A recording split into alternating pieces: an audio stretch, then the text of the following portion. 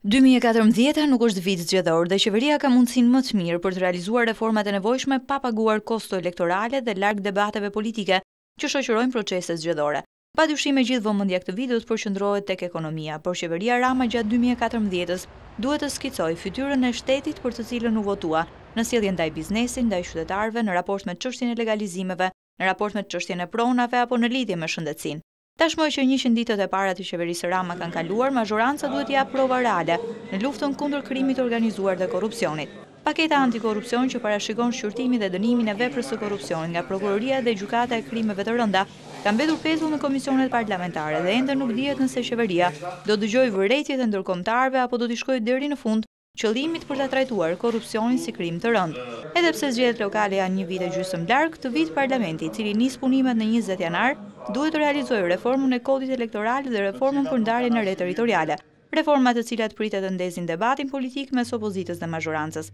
Reforma zgjedhore nuk pritet të sjellë ndonjë risi të madhe, por sa kohë që mazhoranca dhe opozita nuk tërhiqen nga administrimi politik i procesit, Me interes mbetet për t'u parë vetëm përbërja e Komisionit Qendror të Zgjedhjeve, i cili që prej prillit të vitit të kaluar funksionon me katër anëtarë. Reforma për ndarjen territoriale gjithashtu do të sjellë debat, pasi ka ndikim të drejtpërdrejtë në proceset zgjedhore dhe ende pa filluar, opozita ka lëshuar akuzat e para ndaj qeverisë. Të dyja këto reforma që kërkojnë tetëdhjetë e katër vota për t'u miratuar do të tregojnë edhe sjelljen e mazhorancës ndaj opozitës, nëse realisht shumica do të kërkojë konsensus apo në fund, do të vendosë me forcën e kartonit, tashmë që i ka numrat e nevojshëm. Në qershor për herë të pestë, Shqipëria do të kërkojë statusin e vendit kandidat dhe qeveria do të përballet sërish me vendet anëtare të BE-së, duke synuar një vendim pozitiv.